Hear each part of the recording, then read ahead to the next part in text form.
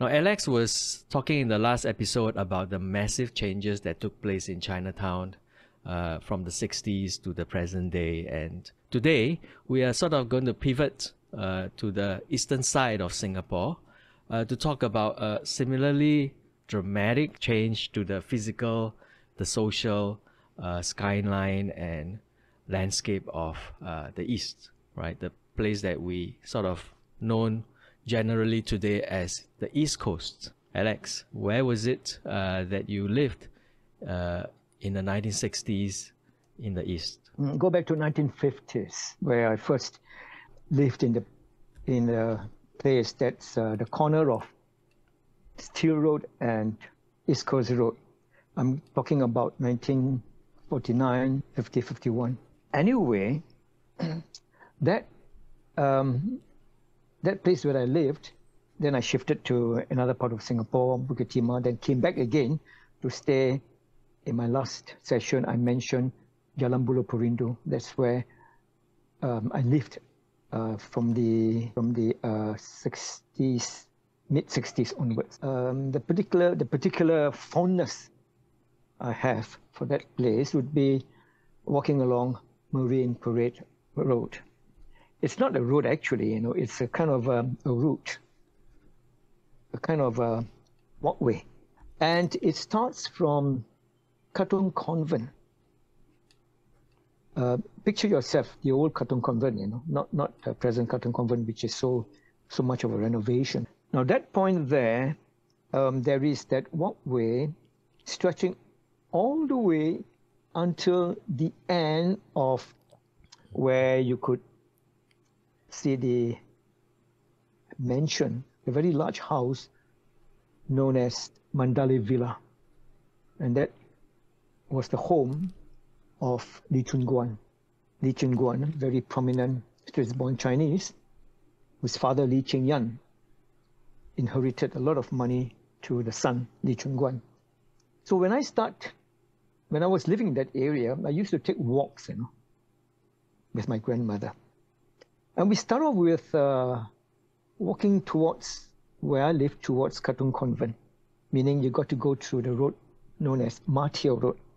Martia Road would take you to Katong Convent, and then you could see there's an, a short little access, you know, to Marine Parade Walkway.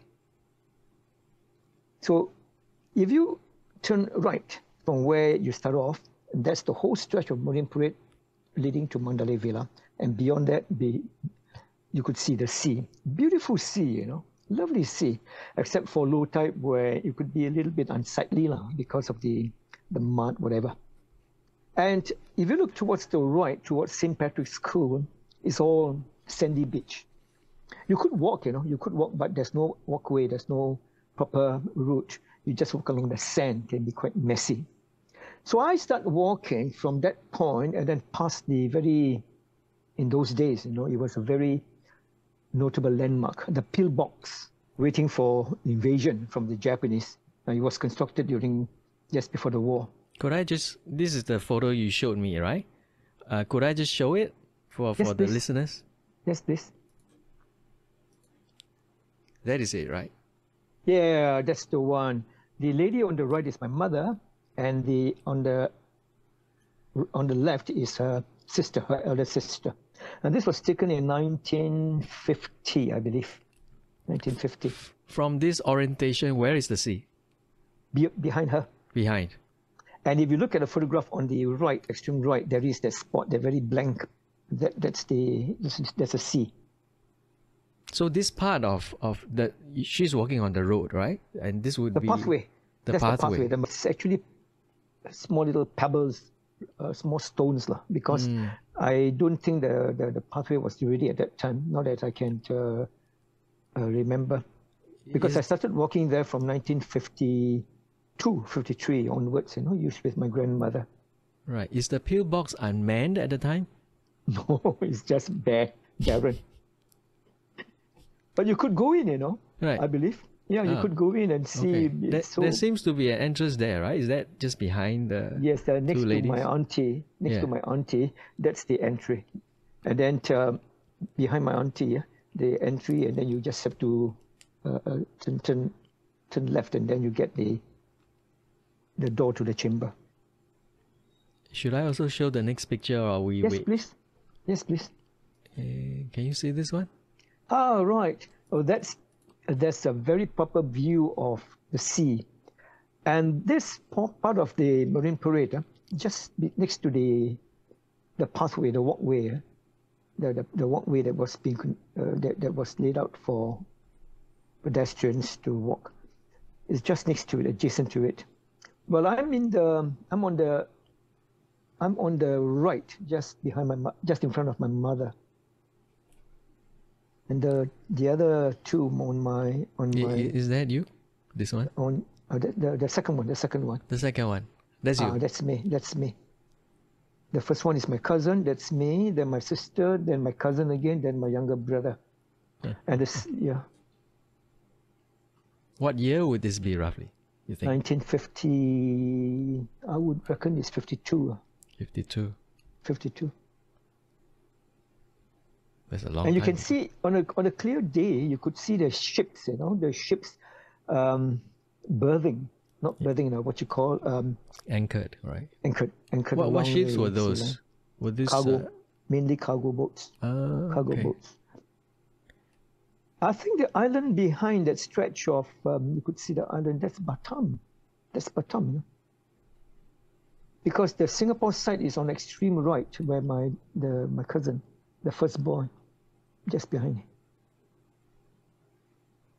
At this moment in 52, were you already staying in Katong? Oh yes, I was in I was in the um, Steel Road. All right, right. Okay. So continue. We walked, and um, beyond, as I mentioned, um, the, the the sea, vastness of the sea. It's so it's so beautiful, especially if you take a Sunday stroll or an evening stroll and watching the sunset. Because appropriately, the sun sets on the west. You could the the the the, the sight is very very nice to watch and the beauty of the sunset, the changing colors. Hmm. And that's my grandmother's favorite view. Was this? As I mean, wa- this was Yes, obviously before the day of the East Coast Parkway and all that, right? Um, was this Two ever away. ever used as recreational area? Uh, not really, except for um, people to spend the evening, Sunday evening, Sunday afternoon, and especially on Saturday morning, Sunday morning. That's about it. Um, for recreation, in the sense um, of um, children playing around, yes, yes. But beyond that, um, you don't see any jogging. There wasn't any jogging. The habit or the um, the the jogging exercise and brisk walking or whatever. It is just an evening or morning stroll. No one went to swim in the water. Oh yes, I was about to mention that. and the people that swim, they were all family with children, lots and lots of kids. In those days, you see a parent with what is it, four or five kids, very common, very normal. Um, and the fishermen, the fishermen with their boats, you know, their fishing boats, uh, they would uh, have it laid down for uh, um, for whatever, for repairs, for cleaning up or whatever. And then during high tide, when the the, the fishermen they they they are they're very good and they're very they're, they're experts, you know. So they could tell when is the season, the right season to fish in the morning. You could see them carrying the various apparatus, you know, for the fishing gears from wherever they were from, walking towards along Joo Chiat Road into Marine Parade towards their boats. Mm. Were, were these Chinese or Malay fishermen? They were all Chinese, but um, if you uh, go beyond, in other words, the other direction towards Siglap, where that's uh, quite an ample Malay village, in, uh, living in atap, atap houses there, you will get the Malay fishermen. That's at Siglap, you know, the Siglap um, uh, village. So as you walk through this walkway, you'll be passing by um, roads like um, Kuo Chuan, Kuo Chuan Avenue. Incidentally, Kuo Chuan is the name of Lee Kong Chian's father. And which brings to mind, yes, really, that the whole of that area was owned by Lee Kong Chian, the Lee Kong Chian family, right, which include the Grand Hotel, uh-huh, the Grand Hotel, which is the other side of Katong Convent. How shall I say? Katong Convent in Martia Road. Then um, walking towards Katong area, you have um, a road called Karikal Road, and then you get Steel Road, an extension of Steel Road. But it wasn't a proper road, you know, it was just a road, a kind of a cul-de-sac, a cul-de-sac leading you to the Grand Hotel. Today, it's known as the Karikal Mahal or Mahal Karikal, belong to, I think, an Indian family. But but but to my understanding, it's Lee Kong Chian's uh, property. So uh, walking along that way, and then I will get Jago Close, and that place, um, I think the if I can recall, access is a bit limited. You know, you've got to go through some some small little points for you to trespass into the road. Then the proper road after that is the Chapel Road that connects with this Marine Parade. Chapel Road, you know where the Catholic Church is, the mm. church known as the what's the name, uh, Church of Holy Family. Something yeah, that, that's what I wanted to ask you about, right? If you kind of transport yourself and imagine today, right? This uh, seafront, right? Where would it be today? The walkway is still there, but there's a road. Mm. After the road, you get all those HDB blocks, the right. entire stretch. I tell you honestly, the last time I passed through uh, was probably, what is it? Mm. Five years ago, six years ago, seven years ago. I really walked through there. Yeah. So there, there you have it. You know, memories fade because new things take over, and the old memories are being buried little by little. Okay, so that's the, um, the Chapel Road, and then there's another road that connects with Marine Parade Road called Sea Avenue. Hardly known, you know. Hardly known, Sea Avenue. Because Sea Avenue leads you to the East Coast Road where today is all the makan shops, you know. Lots and lots of makan shops. And then uh, um, um, across it, we get the Holy Church, uh, the Holy Family Church. That road there, shop houses, and then you find some more residential houses, homes, residential houses. Uh, one of which I recall was the clinic of Dr. Guyaling. Dr. Guyaling. Guyaling died, and then um, it was taken over by a good friend of mine, Dr. Song, can't remember his full name, who died five years into into his practice suddenly because he died of cancer. Very old, very nice friend of mine. Okay, going back to sorry, uh, if I can just jump in, right? So you mentioned the makan places, you mentioned the clinic. What was the community living there? Chinese, majority Straits-born, hmm. English speaking, thoroughly English speaking. You don't hear dialects. Just about the only dialect would be the Malay dialect spoken by the Peranakan to the uh, to to some of those the Indian older Indian who don't under in fact they can speak Malay lah. Uh, uh, they speak Malay even among themselves. Mm. The Peranakan family, they speak among themselves, the older generation, the older folks, like my grandmother. All right? She doesn't speak a word of she doesn't speak a word of Hokkien except for Malay, not English. Well, smitten. My right. mother, she's trilingual. She speaks uh, English, Malay, and a little bit of Hokkien. Mm. My father is even better. My father speaks Japanese. He speaks uh, Hokkien, Cantonese, Mandarin, English, Malay. That's my father. So in, in, in the example of his of his um, uh, of his the, his benefactor, uh, Dr. Lim Boon Keng. My father was a student of Dr. Lim Boon Keng in the days when he was in Amoy University.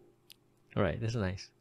Yeah. The, uh, so basically, uh, kind of upper class Straits Chinese were living there. W- was this uh, estate, private estate? Middle class. Middle class. Did it have a name? No, it's Katong. It's, it's just, just Katong. Katong just Katong. Right. Middle class. The upper class uh, would probably be beyond that towards Wilkinson Road, Tanjong Katong Road, right? That's where my very good friend, uh, Tan Yang Kiam's um, generation, um, his grandson stays there. Tan Yang Kiam's son, what's his name? anyway, his grandson, King Lik, he stays there. And then uh, Wilkinson Road that those will be the Peranakan upper, upper class. Mm. So walking again towards from Chapel in, uh, from Sea Avenue, you're in Katong, you're going back to Sea Avenue, back to the walkway, you find a very old landmark, a very large building, a very old landmark. And today it's a new building, and that's Tung Ling English School, one of the very old bilingual school, Mandarin and English. I'm not sure whether it's a public school, but in those days, it was quite a well-known school. And that would be the point. That school is located at the corner of uh, Joo Chiat, joining with Marine Parade. And mm. then beyond that, you there's a pier, you know, there's a kind of a, correct, there's a pier. And um, 10 years later, you're talking about 1965, 66, 67, a restaurant was located there. I knew because um, we used to go there for dinners in the 19 in the late 60s. Now. I'm just it's wondering. no longer there now. We we can try to sort of uh, plot all this on a map. I mean, you've basically brought us along uh, the East Coast, uh, Katong area. Let's try to see if we can trace your your footsteps on the map. Right, give me a minute. All right, so this is the uh, westmost part, uh, closest to the center area. I know, I know, yet. I know. But but let let's uh, start where uh, is this would this no this um, is further we need to go further right further east hold on uh, hold on let me let me let me check because i can't see through it hold on I, I just it. enlarged it yeah so this is still Geylang, right oh no the, no the lorongs right we you're go to push more yeah going to push more some more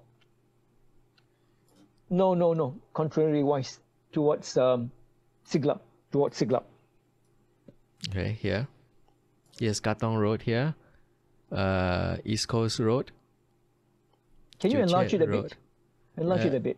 If I enlarge it further, you'll be blurred.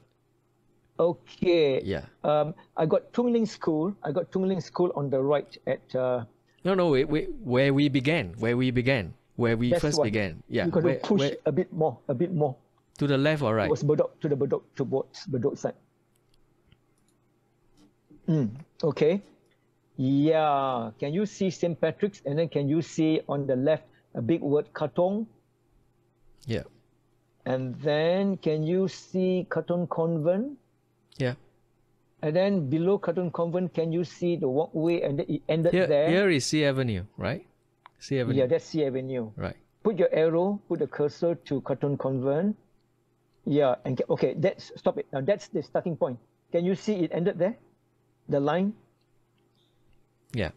The line ended there because if you walk, it's all sandy. You know, it's all sand towards St. Patrick's School. It's hard to walk through, lah, because uh, um, it's a lot of bushes and all that. Yeah, right so by the, sea. These two schools, right? And yes, next Tung Ling yes. is over here.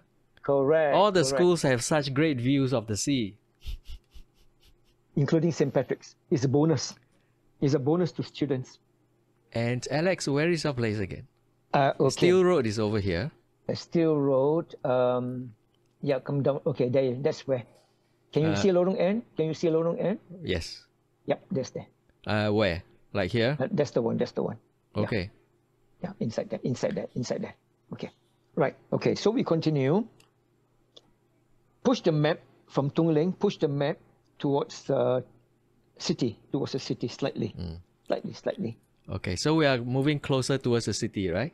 Yes, okay. I mentioned uh, Mandalay Villa. It ends, correct. Then I walk, and then can you see Brook Road? Brook Road. Can you see uh, Joo Chiat Police Station and Roxy Theatre, Roxy Cinema? Uh, New yep. Roxy over here. Yeah. That's the one. Right. The next quadrant. Yeah, the next quadrant. Now, from if from Joo Chiat I could come out to go to um, Roxy Cinema, the um, the back of the cinema, or rather, those the, just next to the next to the cinema, the building there, you get uh, the hawker store, Why do I go there? That's the original Roxy Laksa. Mm. No questions asked. You know, you're talking about 1960s. 50 cents a bowl. Lovely, very nice, tasty, and we can take two bowls successively. Got it? Mm. Yep. And then walking towards the police station, back into um, Brook Road. Today, the Roxy is still there, you know. The, the police station has become, um, I don't know what it is, you know. I'm sorry. All I could see as I passed by to uh, to my to my brother's home, I could see uh, shoppers and then um, stalls here and there. That's about it. But today, uh, you have all those uh, buildings, Roxy Square, and then um, there's a hotel there, is it? What, what hotel? I can't remember. It starts with M. And Roxy Square is where our SHS um, registered office is. And that's where Wendy works in there, our administrator. So that's I mean, That- what what really strikes me here is the number of schools, right? I mean, I've I think there, there's only I mean, further, you know, to the uh, sort of northwest, you have uh, Dunman, Yep. Dunman Yep. Chinese Middle School, Tanjong Yep. Katong Secondary Technical School, right, which was Yep. uh, just newly set up at the time. yeah, Tanjong right. Katong Girls, girls' school and uh, Haig Boys Haig, the Haig Road Boys Schools. Correct. Uh, this is is this an international school, the Fowley School? Uh, no, there is another Chinese school, if I recall. Um, it's uh, it's got a Chinese name. Well, we could research. Uh, you could research on that when you when you're free. Yeah, Um, but- what what the schools tell us is that um, you know there was a substantial population here which was quite educated and young as well, right? To have children who are going to the schools, Yes. so this was quite uh, you know a vibrant uh, community and area, wasn't it? Correct. The whole of Katong district, the suburbs, is the most, um, for want of a better word, progressive. Yeah. Uh, education-wise, civil servants, um, well, I mean, you you uh, civil servants and the office workers, office the people who work in all the clerical the cle- clerical staff, and a few uh, single bungalow houses that you see or find along Haig Road, Katong Road, Haig Road, uh, would be where the higher class stays. I mean, Tiam Siu Avenue, you know, um, that's the name of the Wee Tiam Siu, one of the uh, prominent uh, Chinese businessmen. Um, and Stanford College owner, go back to 1950s, 60s, E. Pereira. His house was in Dunman Road. Today it's a condo. I don't know whether you've heard of Stanford uh, College. He he runs the college, Uh, okay. Stanford College, yeah. And that's E. Pereira, I And remember. al- also the Chinese uh, swimming club is over here. Uh, Chinese swimming Mm. club will be just after Mandalay Villa. I mentioned Mandalay Villa. Now let me point out Mandalay Villa. Can you see? Oh yeah, you have got a Chinese swimming club there. Yeah. Okay, put your cursor there. Chinese swimming club. Put your Yep. cursor there. Yeah. Now, can you shift, go up slightly up, and then you see Amber Road. Yeah. Okay, go down a bit, and then you see the corner there, corner of Amber Road, and uh, now Amber Road, that that, that little the junction, lower, lower, lower, lower, lower, lower. Oh, here. Yeah, that's where Mandalay Villa is. Mm, not marked here. huh? Mm. And do you have That any would- memories of uh, Kampong Amber? Oh yes, Kampong Amber. Um, my my chauffeur, my driver, has got relatives who stays in Kampong Amber, and um, in fact, one of my classmates, you know, stays in there, a Chinese. He stays in there, and um, he tells me, very peaceful, very tranquil. The whole camaraderie of the kampong folks there, that spirit, the Malay call it the gotong royong, the entire, that enlightening uh, part of their life, you know. I mean, people are always so smiling, gay. And when it comes to Hari Raya, there is that very that magnanimity, you know. You, uh, um, he receives, gives food, Malay food, whatever, from Kampung Amber. Yeah, I think there's a memoir written on Kampong Amber by one of the residents some time ago. Mm, okay, worth that's good. checking out. Yeah, nice to read about uh, Kampong Amber. I did pass through that road, you know, or rather um, that uh, Ember, Amber Road, Road. Uh, into the kampong, into the village, into the those kampongs, uh, together with my classmate. And it's very, uh, it's very, uh, very still and very calm. The very uh, laid back, and it's Yeah. beautiful. You know, it's going back to those days, um, early days. You can imagine because we were not born during the war, the pre-war. We were not there, but you could imagine, we could visualize what it was like Singapore when population was 900,000, 800,000. And if you go back to the 1920s, you could get an idea of suburban Singapore. The Yeah. Geylang side, the Teluk Yeah. Blangah side, um, the um, um, the Bendemeer Road side, that part of Singapore. Very, very. It was Singapore was very big in island, but very small in city. yeah. Okay, so if I can continue. Now, what is interesting about um, that road there, the proximity to East Coast Road is parallel. You know, you are so tempted to want to walk along there because of the beach, because of the seaside. And life in those days, I use the word laid back. It was exactly what it was, very laid back. And when you walk along there, you don't know what is rush. You don't know what is being busy it's a kind of a poetical escapism. And I tell you, believe you me, the sunset there, the scenery is so beautiful because of um, the you don't see buildings there. The buildings are all void, no buildings there. And um, I think it will be in um, towards the end of the year, or rather the, the middle of the year, when the sun will be more northerly. Yeah? um, I beg your pardon, more southerly, more southerly. That would be uh, towards the end of the year. So you could see the ball of fire, the sun, slowly descending into the horizon. Sadly, I don't see such phenomena on account of the numerous, It's not possible to see all of this anymore. I mean, with Unless all the blocks Faber. of flats. correct, unless you go to, to Mount Faber. Yeah, but that's the point, right? In the past, you could just walk out and see it, but now you have to go some special places to see it. Exactly, which precisely is my father's favorite Sunday haunt, Bedok Rest House. Bedok Rest House, the other side of, towards the eastern part of Singapore. And that's another landmark, you know. I, I digress. Let me digress. huh. My father's favorite um, evening siesta from five o'clock, he would sit there and together with his notable friends, people like Professor um, uh, yeah, um, yeah, uh, Ye Huafen, Yue Yue Huafen is a very well-known, uh, prominent professor on, uh, on, on, on the Malacca Chinese. You will always go there and have chats together with um, uh, Li Wei Chen, the former and first press secretary to Lee Kuan Yew. To go there and uh, marvel over the sea and then chit-chatting. I don't know what they talk about because they will always speak in Mandarin. And then watching the sunset. My mother would be with me, and my younger brother and sister.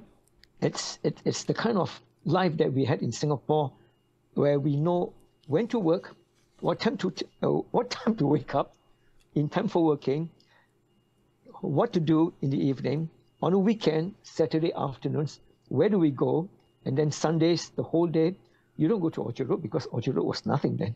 And these were the places we go to.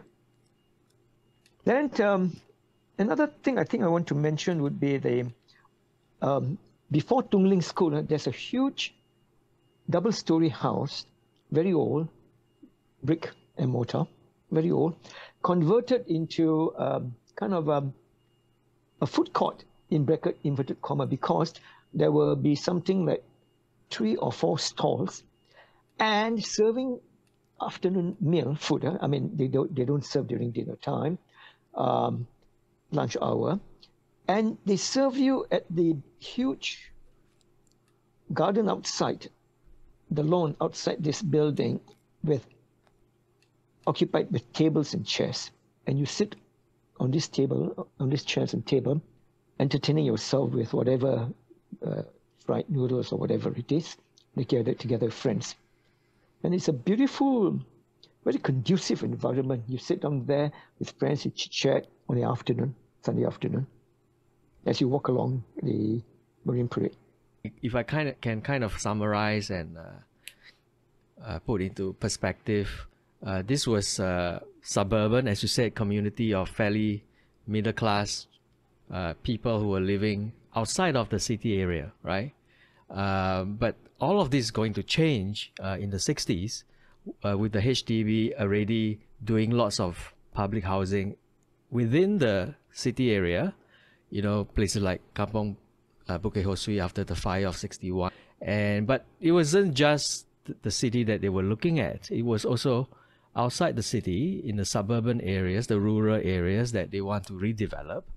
And uh, they thought of uh, reclaiming this area what would become known as the Great Reclamation, as the Straits Times said in 1983, which would take over a number of decades actually.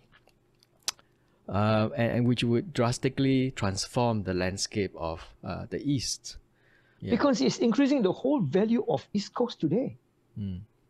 And the concentration, which is, uh, you've got the business park in Changi beyond that, the expo the expo um, and center where all the exhibitions are there, and then the big high condo in the interior, and then the HDB blocks all along from stretching right up to Bedok.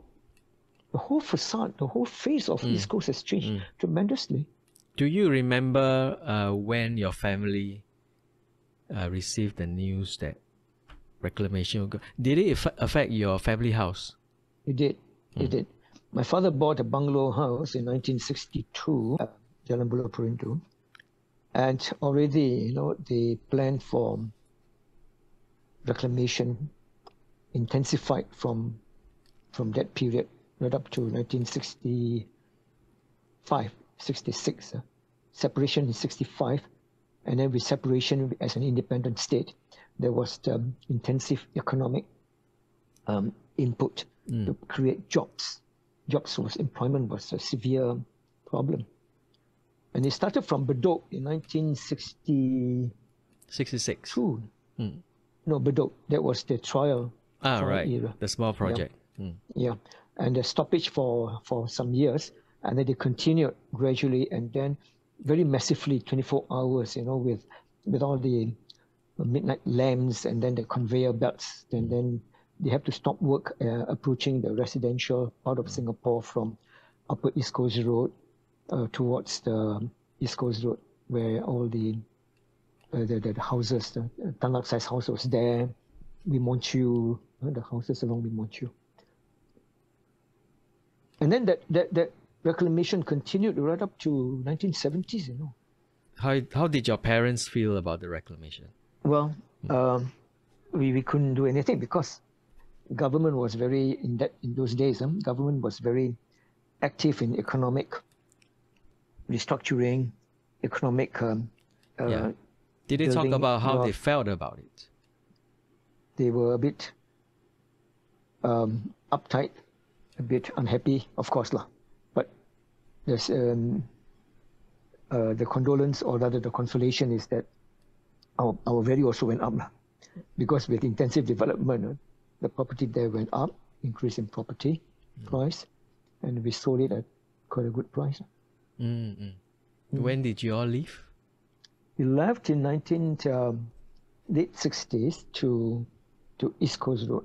Uh, sorry, to Bukit Timah, and then back to East Coast Road. So there was a, a short of um, lots of uh, reshuffling. Oh, okay. When from you Bulup, sorry from Bulup, uh, I beg your pardon, from Katong to Bukit Timah, then to Julep, uh, uh, then to East Coast Road. To East Coast Road. Okay. Again, what what was yeah. that? Was a house? That's my father's property. He built a new house for himself. He built a new house. Okay. Okay. That's right. Taken over by my brother, my older brother. And let's say um, early seventies, right? How would the whole of the East Coast look? Do you remember? Drastically, drastic. I couldn't even recognize the landmark. Couldn't even, could even bring, imagine the fever that um, is nostalgic, of course. lah. You can't get that sense of that people around, you know, it's so predictable. You know who you're going to meet, you know, the, the, the dialect, the, uh, the English speaking, the common people around. And it's so characteristic of that period, that, that time, you know, you, you, you're just so immersed into that whole entire, that sentiment of the people around. But today, is a total stranger. It's not uh, it's not Katong as it used to be. The Katong of the 50s, where where people were so uh, slow, laid back, very nice people. Lots of Eurasians, you know, got a lot of Eurasian friends there. Plenty of Eurasian friends. And uh, today I try to contact them, heard from one and from one of from one another that so and so has migrated, and so and so has the uh, what do you call just left the world. You know, Mm. yes, we age. When was it that you all moved uh, to East Coast Road? 70, 67, 67. yeah, Right. From- HDB blocks along Marine Parade, extending towards the um, where the Parkway, what do you call it, East Coast East Coast Highway is, and then after that you get all those um recreation beaches.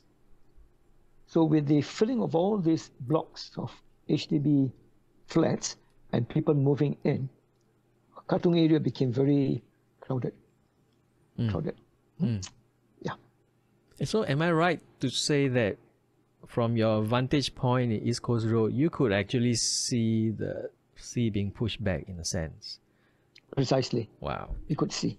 That's quite amazing, isn't it? very amazing. Hmm. And if you lived um, in one of those the seaside sea, those homes uh, along Marine Parade, in those day, in those days where people living there, the residents, they could see the sea slowly disappearing. They could see the construction of new buildings, new blocks. They could see themselves in a different world. Mm. This is, is like the thing we talked about with Chinatown, right? Is uh, destruction and construction.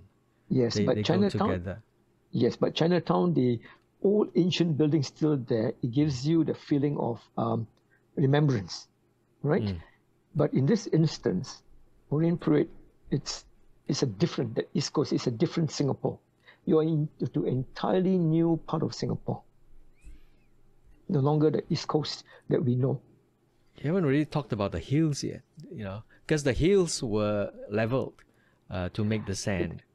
Right. There is a very there is a very prominent hill as we drive through Bedok, Upper East Coast Road towards Bedok.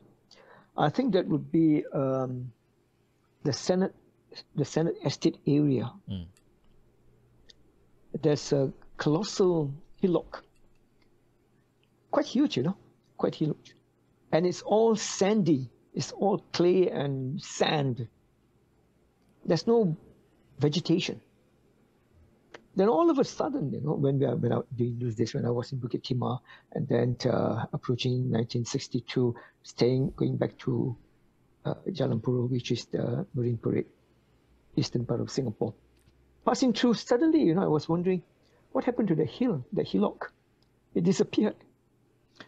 Then it transpired that um, the authority they utilized the sand, the soil there, for the purpose of reclaiming the land of along Marine Parade, along Bedok. And then, of course, Kampung Chai Chee side, huh? some more, you know, you could see the valley now, you know, more of the sand all being reclaimed for Yeah. the reclamation. And, and then you also had Bedok Reservoir, right? Yes, Bedok Reservoir also, yeah. So a lot of um, soil being used, you know, to reclaim that, um, which I think was at the end of, uh, in, in the final analysis, uh, you find that it's quite economically, it paid off.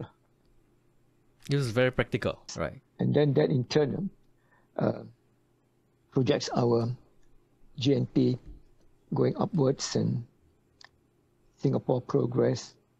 We became very developed. Did did your uh, family had some with the new towns that were being built, right? Bedok later on, uh, Marine Parade.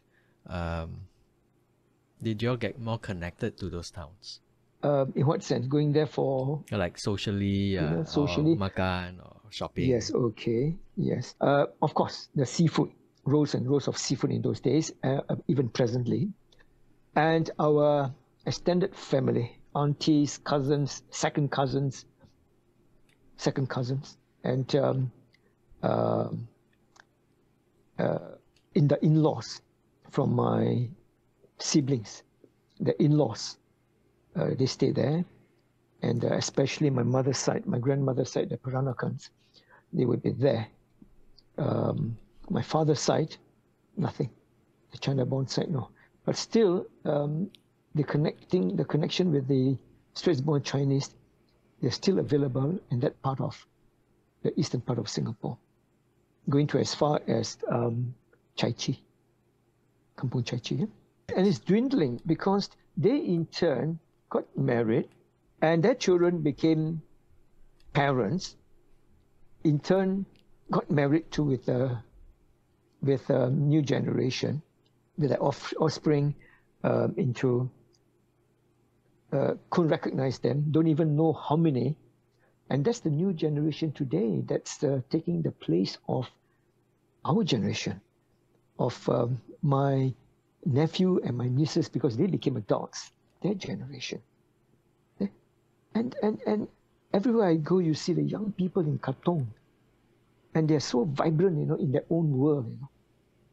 You could, you could sense how they missed that opportunity of knowing what Katong, East Coast, Marine Parade, the whole of that vicinity, that whole entire precinct was like, and the people, the color, the color, Hmm. the spirit, that um, that consciousness. Yeah. Maybe I can take you out on that, Alex. Like, this is uh, Alex talking now, right? 2023. Right. At the time when, in the 70s, when Katong and the East Coast was being uh, remade, uh, how did you feel about that? Were you a lot more excited about it? For purposes of food, yes. For purposes of Always. um, of that um, camaraderie with old people around, neighbors, nothing, nil. That's sad. And it's um, you see the the silver lining with the food and then the places to see, the shops, uh, the Tay Buan Guan, which has gone. So I don't get that kind of cakes anymore. But of course, uh, there's the, uh, it's substituted with all those deli fronts, funny, funny names for the cakes. And then, of course, um, the old style food, you know, the um, the laksa, there's so many variety, but all different in taste and in quality. I suppose if it was, uh, you know, uh, very sad for you in some ways, it would have been even more so for your parents and the older gen. Well, how about your grandmother? Oh, my grandmother, she died in 1970, 70-ish. Um, she would, I think, be very, very sad because her ancestral family, they were all located in Chiat. Her auntie, her auntie, well, she was born in 1870s, was still alive in, that's my great-grandmother. I mean, her aunties and her own mother, her own mother born in 1870s, was still alive in 1950s. I met her lived to a very old age. And then my, my her auntie, meaning my grand auntie, born in 1880s, still living until 1970s. They're all gone now. So they were lucky in the sense that she died at the age when Katong was at its heyday. Did your father say anything about it? I mean, I know that he was very upset about Chinatown. And he was a bit upset also about, um, uh, well, not really, but in a way because we were staying in East Coast Road then. And he died in his house, in our own house. Um, he rarely comes out because to, to him, Katong isn't a big deal. In these days, uh, he would go to Tay Buan Guan, the cake shop. He would go to Cold Storage, Magnolia, the ice cream. He would go to have his usual, in a kopitiam, his usual beef noodle, very nice beef noodle, right? And the popiah along uh, Joo. And the bak kut teh, uh-huh, the bak kut teh along Bakute, uh, Bak- uh, Joo Chiat Road. Thank you, Alex, So, for sharing. Yeah. Thank you very much, Kasi.